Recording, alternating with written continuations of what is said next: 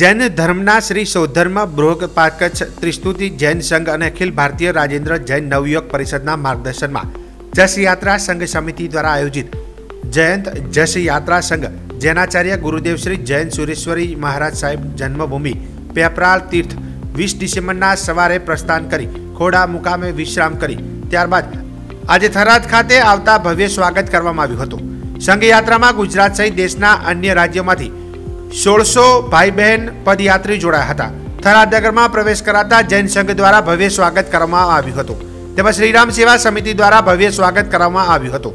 Press media in charge આઝાદી રાજપૂત દ્વારા પણ સ્વાગત કરવામાં આવ્યું હતું.